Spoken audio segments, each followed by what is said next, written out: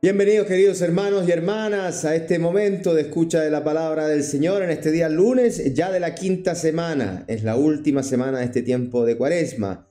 Ya la próxima, el próximo domingo celebraremos eh, eh, el domingo de Ramos, que coincide este año, lo tengo que decir, coincide este año con mi cumpleaños, el 24 de marzo. Bien, entonces Em, el Evangelio de hoy está tomado del Evangelio de San Juan, capítulo 8, versículos del 1 al 11. Hablaremos hoy día sobre la mujer adúltera. ¿eh? El Señor es misericordioso y quiere mostrarnos su misericordia a través de su palabra. Una palabra que está escrita en nuestros corazones. Bien, entonces, les recuerdo, queridos hermanos, que eh, nos tienen que ayudar con los likes, ¿eh? déjennos un like, un me gusta, suscríbanse al canal si es que todavía no lo hacen y activen la campanita para las notificaciones. Esto es fundamental para nuestro canal. Les pido por eso siempre que lo hagan, que nos apoyen con una interacción, porque así el video puede llegar a más personas. No lo hagan después, en la tarde, que se los tenga que recordar yo. No, háganlo ahora. Dejen un like eh, aquí abajo, eh, en esta zona de aquí. Eh, por aquí, no sé, por aquí. Ahí están los likes. Bien, queridos hermanos, ¿cómo estuvo el fin de semana? ¿Cómo estuvo el domingo, Día del Señor? Yo estuve de retiro, muy contento, muy contento. ¿Por qué? Porque me alegra cuando los hermanos se encuentran con el Señor, cuando el Señor les permite poder iniciar un camino de fe. Entonces, estoy muy contento por eso. Nació una comunidad aquí en la parroquia ¿eh? y entonces eh, estamos contentos. ¿eh? Yo estoy contento. ¿Por qué? Porque el Señor hace su obra, nos muestra siempre su amor, su compasión, su misericordia. Insisto en esto. Entonces, vamos a, a pedir al Señor el Espíritu Santo, ¿no? El Espíritu Santo para hacer su voluntad, para abrirnos a su voluntad.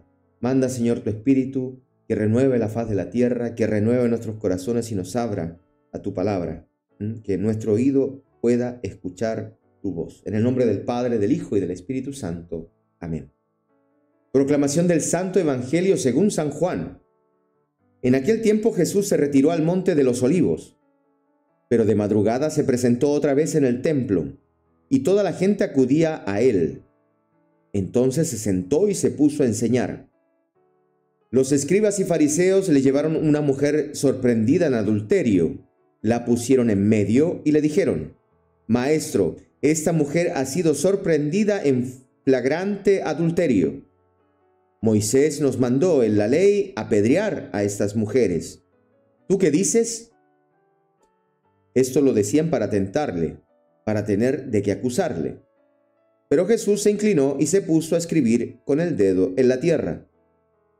Pero al insistir a ellos en su pregunta, se incorporó y les dijo, Aquel de vosotros que esté sin pecado, que le arroje la primera piedra. E inclinándose de nuevo, siguió escribiendo en la tierra.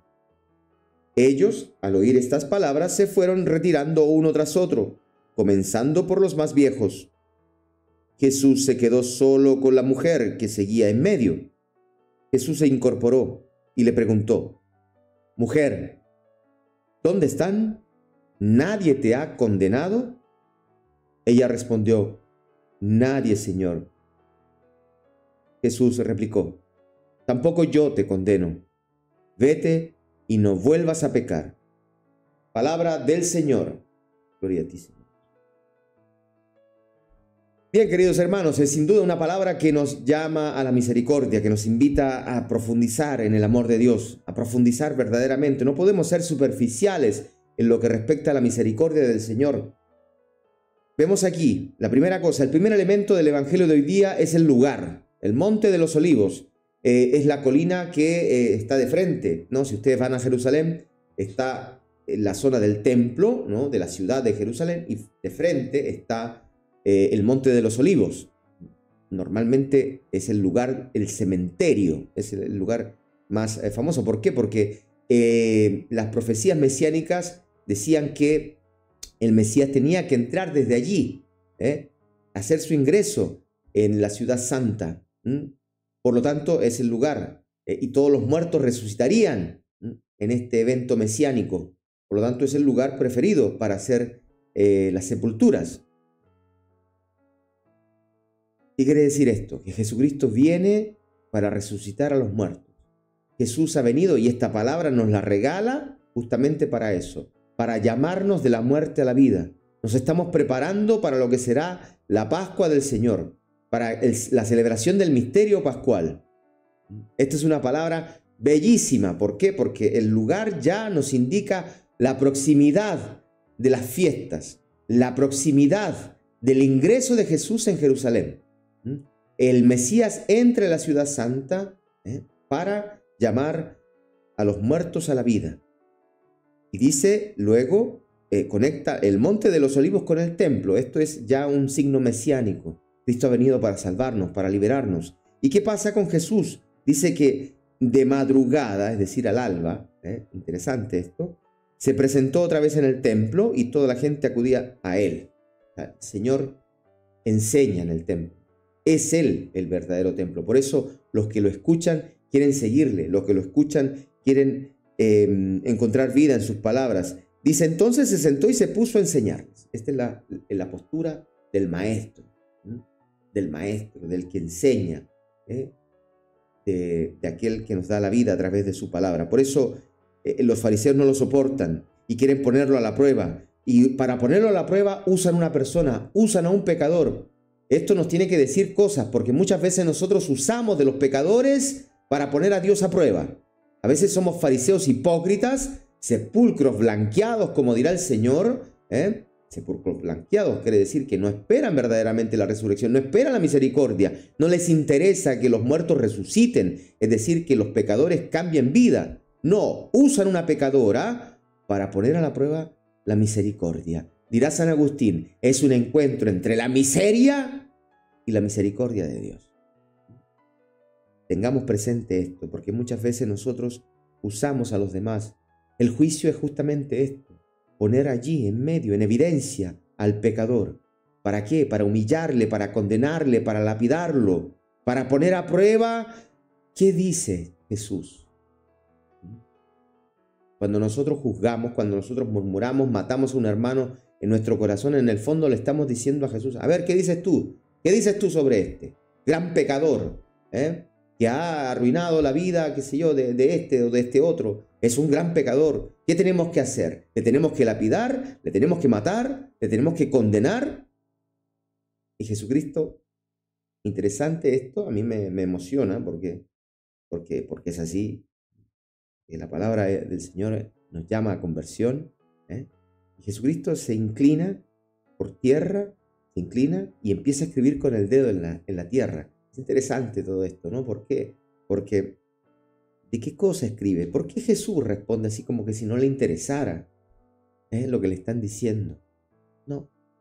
Dice el profeta Jeremías en el capítulo 17, versículo 13, hablando sobre la confianza en el templo y la confianza en el Señor, dice sobre el lugar, sobre el templo, esperanza de Israel. Jesucristo está en el templo, ¿eh? Esperanza de Israel, Yahvé. Todos los que te abandonan quedarán defraudados y los que se apartan de ti quedarán escritos en la tierra por haber abandonado a Yahvé, manantial de aguas vivas. Jesucristo está escribiendo en el monte de los olivos, en el lugar donde se, se, eh, se entierran los muertos. Está escribiendo por tierra quizás el nombre de estos escribas y fariseos. Está también quizás haciendo este gesto del dedo de la mano de Dios es el Espíritu Santo que va a ser una nueva creación, que va a renovar, que va a resucitar a esta mujer. No sabemos lo que Cristo escribió. ¿eh? Estas son interpretaciones, pero sin duda que el profeta Jeremías nos ayuda. ¿Por qué? Porque Jesucristo está escribiendo el nombre del pecador sea el de la mujer o sea el de los fariseos, sea el nuestro. Y con el mismo dedo, con el poder que tiene Cristo, con el poder del Espíritu Santo, con el poder del Padre, pueden crear una criatura nueva. Y esto es lo que hace Jesucristo con esta mujer. Y también llama a conversión a los, a los escribas y fariseos, a los que están aquí. ¿Por qué? Porque no se sabe ¿eh? si este gesto lo hace porque conoce el pecado de los escribas y fariseos o porque justamente está citando el profeta Isaías, queridos hermanos, pidamos al Señor que nos regale su misericordia, que este dedo que escribe en la tierra y que esta tierra seamos nosotros, que escriba esta ley, esta nueva ley, la ley del amor en nuestros corazones, que el Señor escriba con el Espíritu Santo el amor en nuestra vida y por lo tanto nos preguntará, ¿dónde están los que te condenan? ¿Dónde están tus enemigos? ¿Eh? En este tiempo de Pascua viviremos esta realidad. Cristo ha vencido la muerte. ¿Y dónde está la muerte? dirá San Pablo. ¿Dónde está muerte? La muerte. ¿Dónde está muerte tu aguijón? ¿Dónde está? Y entonces nos preguntará, nos dirá también, ¿eh? ¿nadie te ha condenado? Y responderemos sin duda, no, Señor, porque tú me has amado, porque tú me has perdonado. Nadie me ha condenado.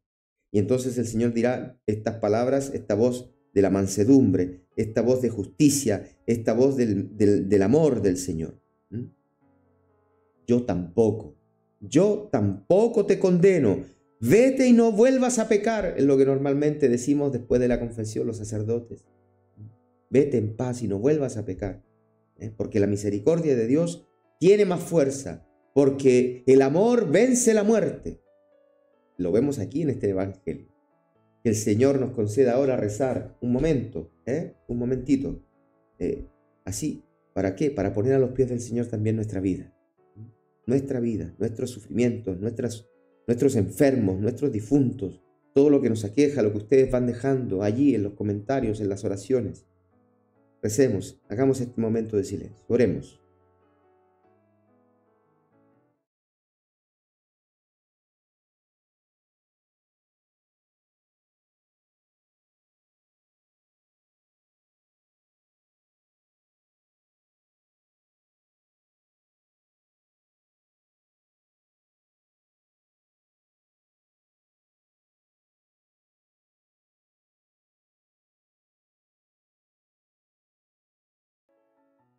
Oremos.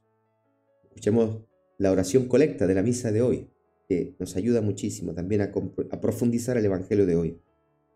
Señor Dios, por cuya inefable gracia nos enriqueces con toda clase de bendiciones, concédenos pasar de nuestros antiguos pecados a una vida nueva, como la adúltera, para prepararnos a la gloria del reino celestial por Jesucristo nuestro Señor.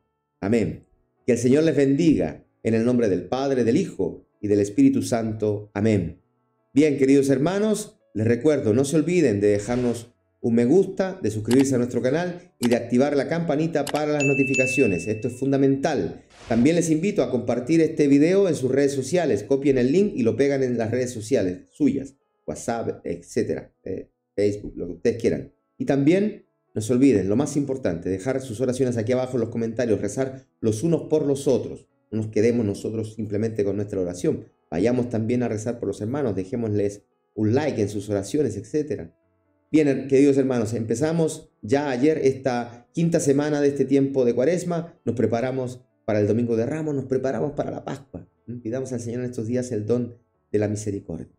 Un fuerte abrazo, sigan rezando por mí que yo lo hago por ustedes. Hasta mañana.